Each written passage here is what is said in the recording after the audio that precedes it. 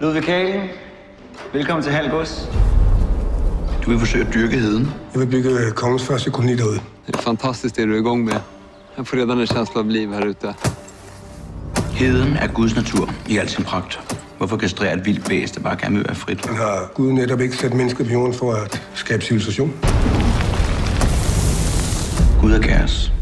Livet er kaos. Nej, krig er kaos. Men vinderen er den, som kan finde ud af at kontrollere kaos. Det er min jord. Det er kongens jord. Jeg arbejder for kongen. Hold op med at tale om kongen, som om du kender ham. Han ved ikke engang, du findes. Og du kommer til at lykkes med at bygge din koloni derude. Ja.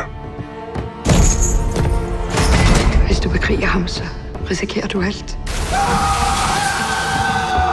Schenkel stopper ikke, før han er vundet. Jeg har brug for dig. Du vil bare have din adelige titel, så du kan mænge dig med de fine folk.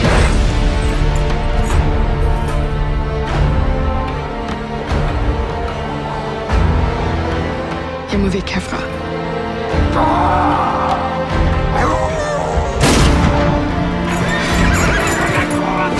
Vi vill fan inte dö för det är ett helt projekt.